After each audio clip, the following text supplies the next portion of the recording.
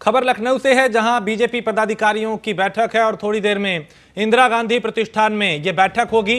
प्रदेश कार्य समिति के एजेंडों पर यहाँ पे मुहर लग सकती है, चर्चा हो सकती है। प्रदेश अध्यक्ष भूपेंद्र सिंह चौधरी सत्र को संबोधित करेंगे और संगठन की आगामी कार्य योजना भी पेश की जाएँगी।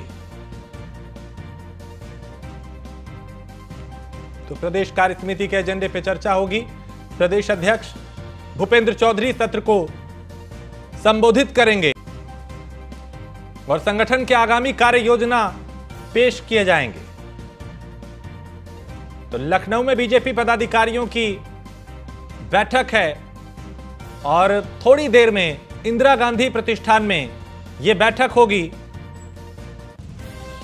प्रदेश कार्य समिति के एजेंडे पर मोहर लग सकती है।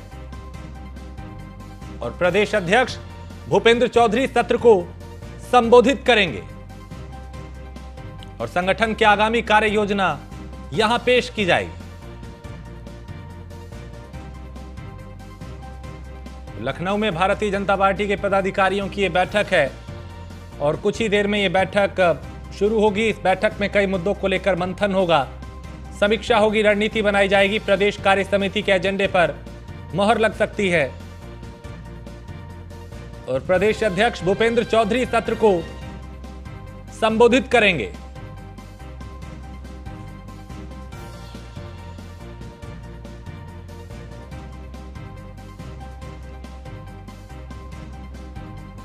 तो भारतीय जनता पार्टी पूरी तरह से एक्टिव है चुनाव में। 24 से पहले निकाय चुनाव से पहले बैठकों का दौर जारी है, समीक्षाएँ की जा रही हैं, रणनीति बनाई जा रही है।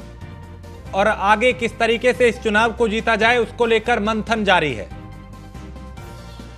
तो कुछ ही देर में यह बैठक होगी और संगठन के आगामी कार्य योजना इसमें पेश किए जाएँगे।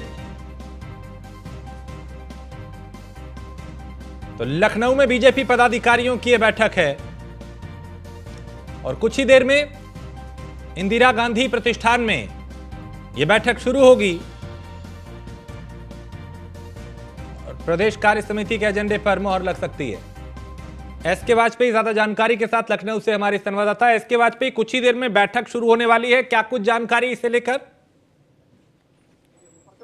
देखें तो भारतीय जनता पार्टी पूरी तरीके से एक्शन और इलेक्शन के मूड में चल रही है और अपने संगठन को विस्तार देने, संगठन में जो परिवर्तन होते हैं, होने हैं, उन संगठन में जो परिवर्तन होते हैं, होने हैं, उन परिवर्तन को लेकर, बहुत सारी चीज़ों को लेकर इस बैठक में मंथन होगा, क्योंकि महत्वपूर्ण इसलिए है, कल बीजेपी प्रदेश कार्य समिति की बैठक है। और बीजेपी प्रदेश कार्य समिति की बैठक में कई महत्वपूर्ण एजेंडे सेट होंगे, खास तौर पर उत्तर प्रदेश में होने वाले जो आगामी निकाय चुनाव है, उनको लेकर पार्टी की रणनीति और नीति क्या होगी? किस नीति पर भारतीय जनता पार्टी के नेता मैदान में उतरेंगे? दूसरा बड़ा विषय होगा कि किस तरीके से भारतीय जनता पार्टी जो विपक्ष सवाल उठा रहा है, उनके जवाब दिए जाएँ।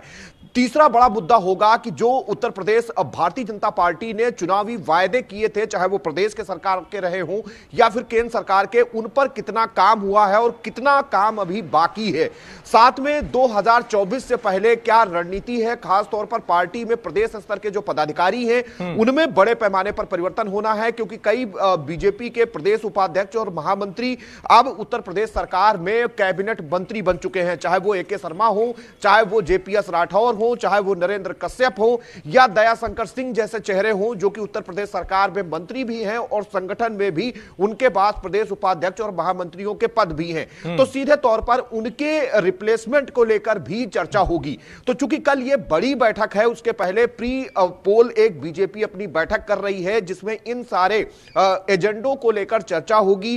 पार्टी अपने एजेंडे सेट करेगी। उत्तर प्रदेश जो यूनिट है भारतीय जनता पार्टी की वो इन चीज़ों को देखेगी। कि कैसे जो प्रदेश समिति की बैठक है उसमें इन मुद्दों को रखा जाए किन किन मुद्दों पर चर्चा की जाए क्योंकि प्रदेश कार्य समिति की बैठक में कई अलग अलग सेशंस होंगे जिसमें अलग अलग सामाजिक राजनीतिक और साथ ही साथ आर्थिक के साथ ही बीजेपी के रणनीतिक हम्म। जो सेशंस हैं वो आयोजित किए जाएँगे उन सेशन से पहले एक प्री बैठक है जिसमें किस तरीके से इनको आयोजित किया जाना है कौन कौन से पदाधिकारियों के पास क्या ज़िम्मेदारी होगी प्रदेश कार्य समिति में जब मंथन हो रहा होगा किस पदाधिकारी की तरफ़ से कौन सा विषय रखा जाएगा? इन बहुत सारे विषयों को लेकर ये एक पूर्व बैठक है जिसमें कहीं ना कहीं ये सारे एजेंडे तय किए जाएँगे जिनको कल प्रदेश कार्य समिति की बैठक में रखा जाना है। कुल मिला के देखा जाए तो एस के वाजपेयी भारतीय जनता पार्टी पूरी तरह से एक्टिव है चाहे निकाय चुनाव हो या लोकसभा चुनाव हो और हम देख रहे हैं कि कहीं मंथन हो रहा है कहीं बैठकें हो रही हैं कहीं समीक्षाएँ हो रही हैं और कहीं पे लोगों को जिम्मेदारियाँ देने की तैयारी की जा रही है।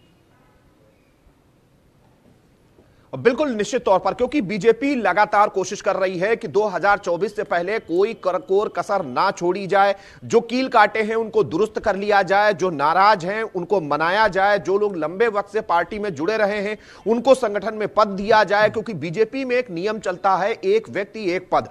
चूँकि कई ऐसे पद भी हैं, जैसा कि मैंने पहले भी बताया कि वो उत्तर प्रदेश सरकार में मंत्री बन चुके हैं। तो सीधे तौर पर उनको संगठन का पद छोड़ना है और ऐसे पदाधिकारियों की तलाश करनी होगी, जो कि पार्टी के लिए मुफीद हो जातीय क्षेत्रीय और राजनीतिक समीकरण के हिसाब से फिट बैठते हो और पार्टी को 2024 में 2014 और 2019 जैसी जीत दिला सकते हो। तो ये बहुत सारे मुद्दे होंगे जिनको लेकर कार्य समिति में चर्चा होनी ठीक है, आप नज़र बनाए ये एक तैयारी बैठक बैठक है। जिसमें इन सारे विषयों को लेकर ठीक है आप नज़र बनाए रखिए मैं आपसे फिर जानकारी लूँगा। फ़िलहाल शुक्रिया इस तमाम जानकारी के लिए।